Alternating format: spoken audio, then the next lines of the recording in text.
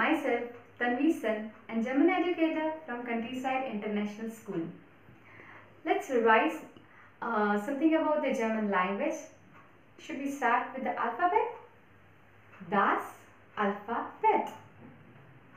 A says A, B says B, C says C, D says D, E says A, F says F, G says G, H says Ha, I says E, J says Yacht, K says Ka, L says L, M says M, N says N, O says U, P says P, Q says Q, R says air, S says S, T says T, U says U, V says wow,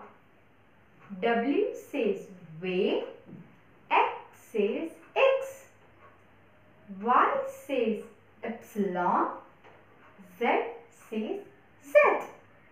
And one another additional alphabet we have in a German language and that is called Eszett. Eszett. It means double S. Noch einmal, one more time. A, B, C, D,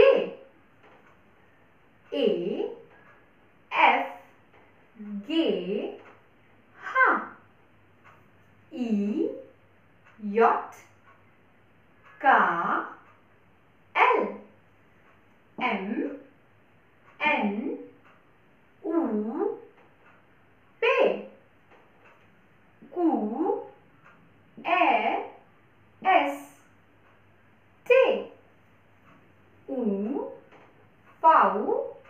V, Epsilon, Z. The additional alphabet that is Eszett. Eszett. That means double S. So the things which we did just now that was the pronunciation of the German alphabet. The German alphabet are written same as in English like how we write A, B, C, D like that way only we write in the German. But the things which we pronounced just now was the pronunciation of the alphabet. So hope the German alphabet, das alphabet is clear to you all. Bye for now. Promise you to be back with another topic. of the Wiedersehen.